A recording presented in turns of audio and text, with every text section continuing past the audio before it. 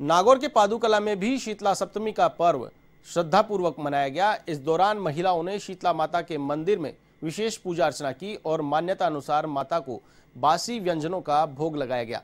साथ ही माता की, से परिवार की खुशहाली की कामना की गई। इस दौरान महिलाओं ने मंदिर में शीतला माता का सोलह श्रृंगार कर मंगल गीत भी गाए।